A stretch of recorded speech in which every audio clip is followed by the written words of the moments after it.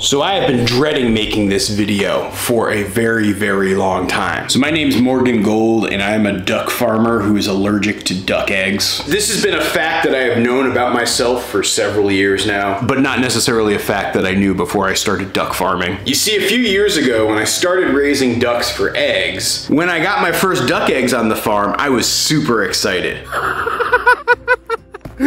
like I can't believe it, man. My first egg from the khaki Campbell. But then as I started to consume the fruits of my animal husbandry labor, I noticed a little bit of a weird trend. Like the first time I remember eating one of my duck's eggs, I felt a little bit queasy afterwards. At the time I never suspected the duck egg. I always assumed it was like maybe some bad cafeteria food or that sandwich I ate at the gas station. I mean, it was like I only had a touch of food poisoning. It wasn't anything extreme. But then the second time I ate duck eggs, my reaction was a little bit, shall we say, violent?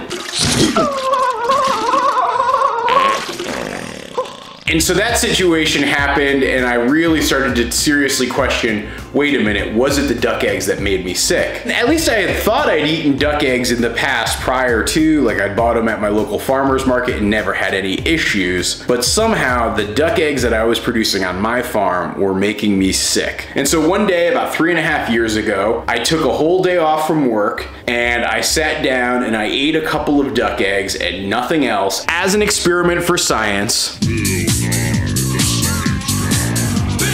To test this theory out about whether I was allergic or not. And lo and behold, I ate those duck eggs and I immediately got sick.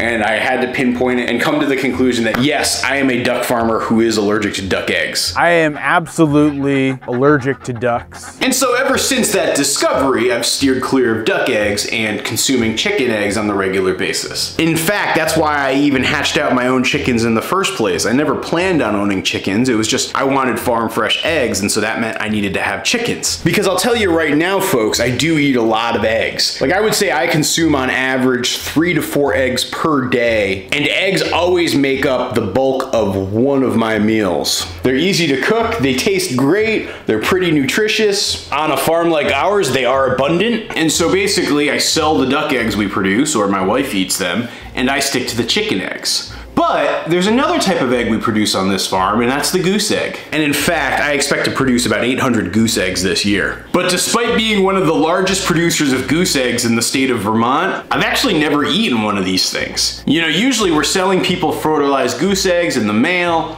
or we're hatching them out ourselves here on the farm. But every so often we will collect eggs that are probably not suitable for hatching. Like for example, this one is a massive goose egg. I mean, just to do the size comparison for you guys, right? This is a chicken egg, this is a goose egg. There's probably four of these little chicken eggs that fit into one of these giant goose eggs, maybe five. But I've never eaten them because I've always been afraid that the same issue that I've had with duck eggs will happen with this goose egg. But on today's video, we are challenging that fear and I'm gonna see if I am in fact allergic to goose eggs. All right, here goes nothing. I feel like this could end very badly.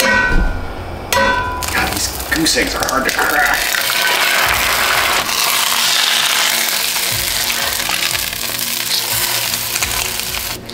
Okay, let's drop this on the plate. Add a little bit of pepper, add a little bit of salt, hit it with some hot sauce.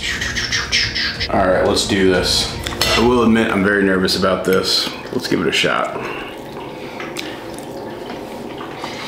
Mmm. One thing's for sure, it definitely tastes good.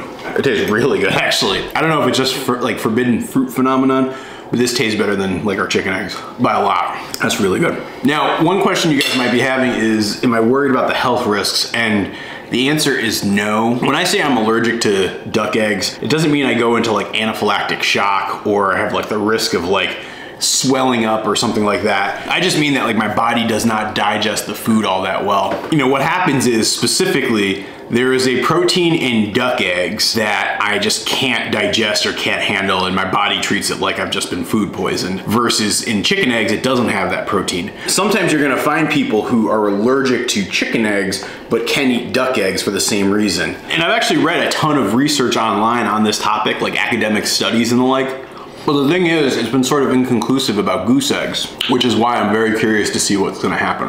I will say this though, it tastes very, very good. All right, now it's time to do chores. I actually run a little bit late this morning. Usually I'll eat a breakfast after I do my chores, but I don't know if that was gonna be an opportunity available to me this morning, given this experiment.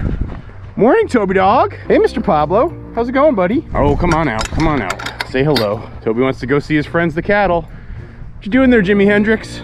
You napping in the hay feeder? How's it going, buddy? And how are you doing, Madam Murder Mittens? Let's go check on the flashlight, huh? Hello, Ginevra. Hey, flashlight. How's it going, girl? Oh, oh man. I know. And you're, oh, you're beating the heck out of your cone. I'm gonna have to fix that later. So I've got some medicine for Abby to eat. Here you go, here you go. Abby's the easiest animal I've ever had in terms of trying to feed her medicines. All right, let's see what we got going on in the hatchery here this morning. How's it going, Mother Goose? She's been doing a really good job sitting on that nest. Looks like we got more eggs over here. I'm waiting for another goose to come and start sitting on this nest. That'll be pretty soon, I think. Settle down. She's about ready to get her cone taken off and I'm gonna give her one check with the vet before she resumes normal. I just don't want to take any risks with her surgery. Yeah, in case you're wondering too, I've been letting a couple of the chickens and geese actually stay out all night so that they can have a spot to actually lay and sit on their nests. I'm trying to encourage nesting activity this time of year, which is a little different than where I was even two weeks ago. Rise and grind, weird chickens. Hey, how's it going there, Rosie? I think some of the chickens have been escaping through this hole that the geese have ripped. I keep trying to duct tape it up, but they keep breaking through it. I'm definitely gonna have to secure that before Abby resumes her normal duties. Let loose the goose! Hey, Abby, no! Remember, Abby, we gotta be on good behavior. I know you're excited to see your friends, the geese. Let's see how we're doing in here this morning. Got a couple more mama goose nest going, including these two gals who are sitting over here. I know everybody's gonna probably want an update on our little bullied girl. She's actually doing pretty good. She's her feathers are starting to grow back. She's seeming healthier. I know there was a lot of concern that I didn't separate her. Hey, Abby, don't scare that goose off her nest. It's actually what we want to see. But the reality is I felt like I was actually going to do more harm by segregating her and keeping her alone than keeping her with everybody else. And I did not suspect bird flu. Oh, wow, so we got one, two, three, four. I'm just gonna cover these back up as well. Oh, you got a bone there? Toby's like, she is dangerous with this cone. All right, we're gonna try to fix your cone in a minute or two. And by the way, guys, I just had a problem with my camera and I accidentally was unable to record me releasing the quacking. So the ducks are already out. How's it going there, duckery doos? Good to see you, Jemima Puddle Duck. That right there is Jemima Puddle Duck, our oldest duck on the farm. So some folks might be wondering why I didn't use a soft cone or a bodysuit. Well, the soft cone wasn't gonna actually restrict her range of movement enough to keep her surgery stuff out of harm's way. And I just didn't have enough time to order the bodysuit. There we go, got one there. There we go.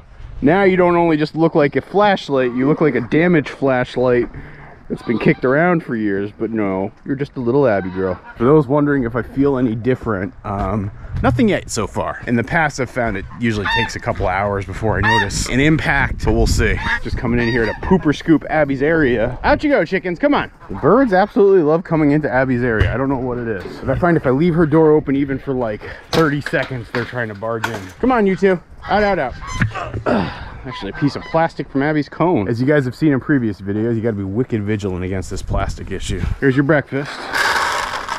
Oh, you're hungry? Good girl. You're being such a good pup. You can enjoy that. Go for it. I think she's expecting more special treats, but she'll realize that it's just a dry kibble morning. Toby dog, I'll give you a little snack too. How about that, buddy? Just a light snack. Still getting you used to the once a day feedings. How's it going, girl? Found yourself a little nest, huh?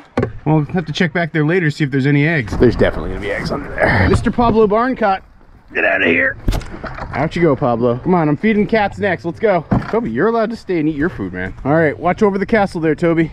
Set this right here because it's gonna be part of my morning project. You know, doing this egg eating experiment has me wondering at what point in my day am I gonna be essentially shut down? So I'm gonna try to cram as much work as possible into the next hour or two that I have guaranteed before I get sick. Settle down, you guys.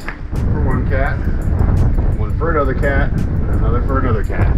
Yeah, all three cats have adjusted to their urinary tract infection food really well. Basically, these little pellets soaked in water. Pretty good eaters. Yes, they are. The biggest chore I want to try to tackle this morning is since it's been so rainy, yeah, it's been about three days since I've mucked out the cattle area. And so I'm due for picking up cow poop. I should also give the cattle some fresh water. Sorry, Curdy. Didn't mean to scare you there, buddy. Good to see you, Kurt Cobain.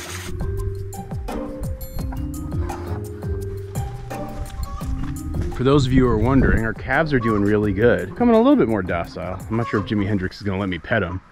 No? No scratch? So again, we have Jimi Hendrix, Belinda Carlisle. We have Joey Ramone, who's right there. Joey's getting a little nursing from his mom, Annabelle. And over here we have our littlest calf. Still haven't named her yet. Working on coming up with one. Kurt, leave me alone while I'm doing this, buddy. You know, even though he's a steer, Kurt Cobain is rather protective of his herd. So I give him the respect he deserves. You know, one of the things people don't tell you about having animals, right, is you spend a lot of that time dealing with the animal poop, which quite honestly, I don't mind at all. Next year, this stuff is gonna be absolute gold for our garden. That's gold, Jerry. Gold!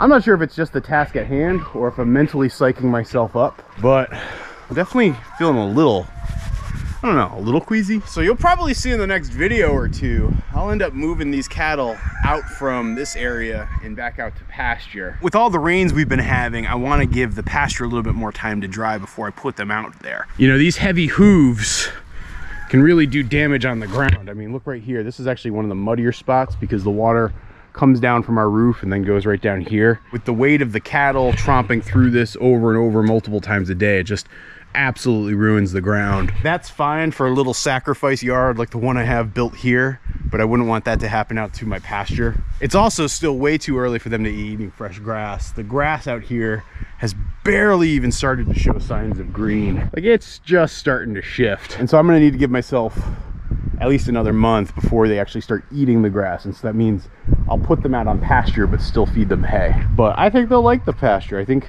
you know, we're getting to the point where big blizzard is kind of out of the question. Not out of the question, but unlikely. The much more likely scenario is just snow flurries, which will happen from time to time. But even for the little calves at this point, they're not going to mind it that much. Watch out for the poop there, Pablo. Can you get yourself out of there? Okay, just checking. What you looking at? I'm just scooping poop. Speaking of poop, I'm not feeling good right now. I think I'm definitely feeling it. I'm gonna go head on inside and, and sit down for a minute. Ooh, yeah, not feeling good at all.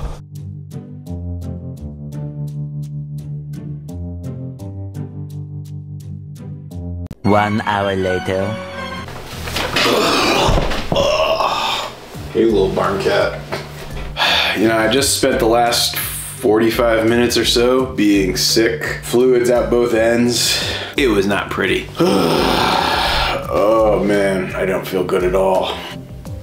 I hope I can keep this water down. I'm not gonna say that this was an unexpected result, but it was just definitely an unwelcome result. I don't know what to tell you guys. I think I'm gonna just spend the next couple of hours inside, maybe watch a movie or something, hang on the couch, and stay within sprinting distance of the bathroom because I am most definitely allergic to goose eggs. No doubt about it. Come on, Lil, you wanna join me? Why is it often the things that we love the most we're often the most allergic to? Like take this little cat here, for instance. I'm allergic to cats too, and I've actually managed to suppress my cat allergy quite a bit by just constant exposure. Doesn't mean that if I were to rub my face after petting her like this, I'm not gonna get itchy eyes or sneezing or that sort of thing. But I don't think it works the same way with duck and goose eggs.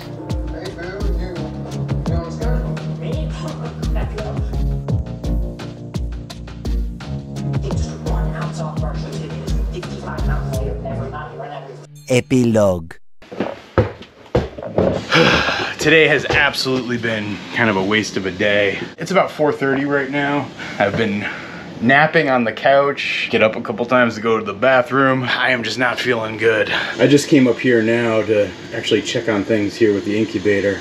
There are more goose eggs. I've actually got 90 of them in there right now. My hope is that they hatch very, very soon. I don't think we're that far off from the hatch. So, yes, on our farm, goose eggs are wonderful for hatching. Goose eggs are wonderful for selling. For me personally, they are not wonderful for eating. I will say they tasted wonderful though, and so if you're not allergic to goose eggs and you have a chance to eat one, I highly recommend it. But if you're allergic to duck eggs, proceed with extreme caution when it comes to goose eggs. That's kind of all I got. I'll leave these videos here for you guys so you can watch them and I'll see you in the next one. Thanks.